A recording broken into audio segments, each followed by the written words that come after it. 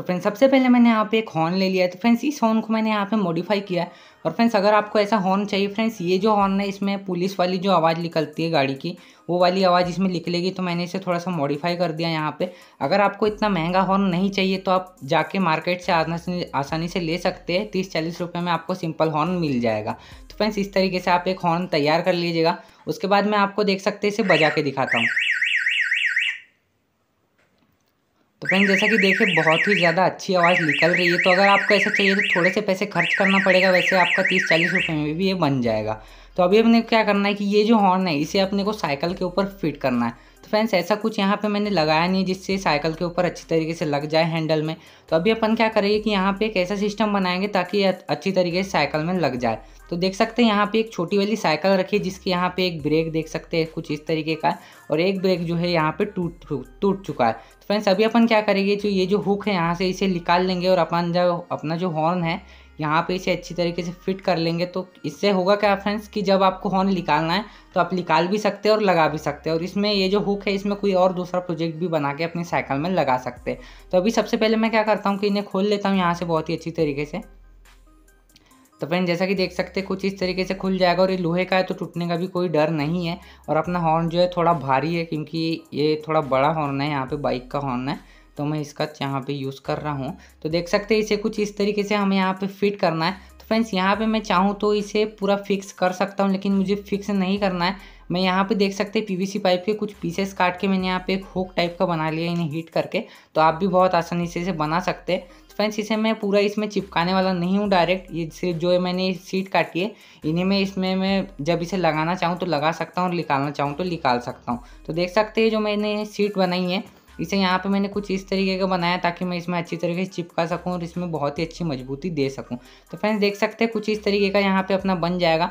और फ्रेंड्स, यहाँ पे सिर्फ़ फेविक्विक के ही भरोसे नहीं रहिए आप। कुछ सुपर ग्लू भी यहाँ से अच्छी तरीके से डाल दीजिए, कुछ अलग तरीके का तो ज़्यादा मज़बूत हो जाएगा। तो फ्रेंड जैसा कि देख सकते हैं कुछ इस तरीके से यहाँ पे अंदर लगेगा और बाहर भी निकल जाएगा आराम से। तो यहाँ पे मैंने इस तरीके का इसे बनाया है। तो फ्रेंड्स जैसा कि देख सकते हैं, ये अपना पूरा तैयार हो चुका है। अब बारी है इसके कनेक्शन की। कनेक्शन भी बहुत ही ज़्यादा सिंपल एक वायर आपको डायरेक्ट बैटरी में टच करवा देना है और एक वायर आपको क्या करना है कि डायरेक्ट जो अपना, यानी कि देख सकते हैं, अपना जो रेड वायर है, वो friends red wire direct battery पे कनेक्ट रहेगा और यहाँ पे अपने को एक स्विच लगाना पड़ेगा। तो स्विच बहुत ही आसान है लगाना, आप भी अपनी तरीके से लगा सकते हैं। तो मैं यहाँ पे एक ऐसा स्विच बनाऊँगा ताकि हम जब इसे दबाए तभी यहाँ पे वो ऑन हो।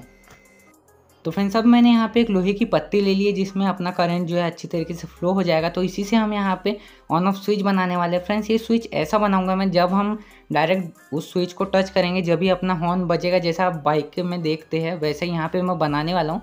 वरना अगर आप लेना चाहते हैं तो उसे मार्केट से ले सकते हैं, लेकिन मैं यहाँ पे आपकी पूरे पैसे बचाने की कोशिश कर रहा हूँ तो आप ऐसा जुगाड़ लगा सकते हैं।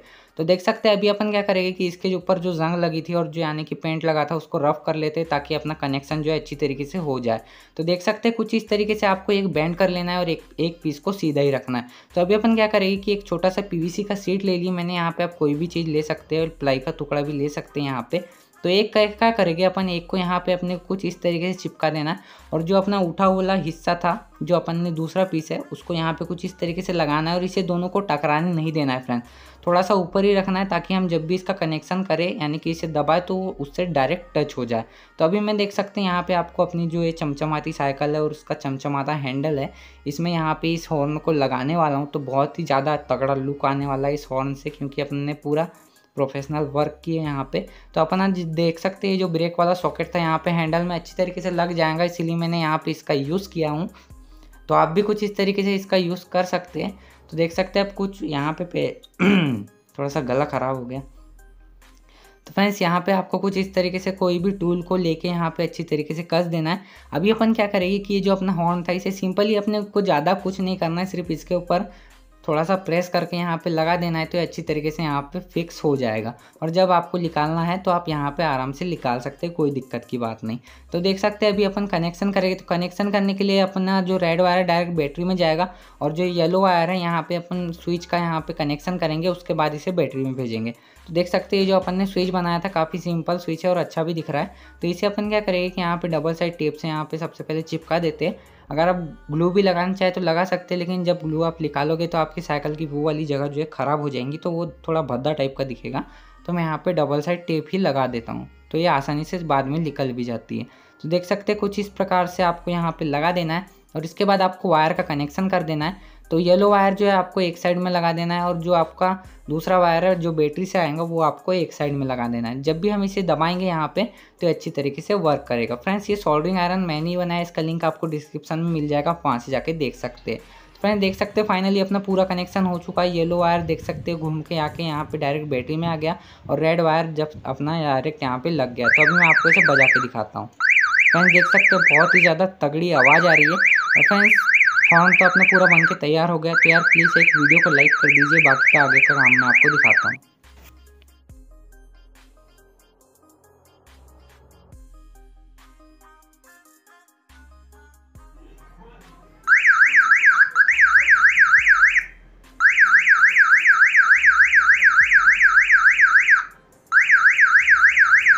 फ्रेंड्स वीडियो पसंद आए, वीडियो को एक लाइक कर दीजिए चैनल पर चैनल को अभी के अभी सब्सक्राइब कर दीजिए कमेंट करके भी बता दीजिए आपको वीडियो कैसी लगी।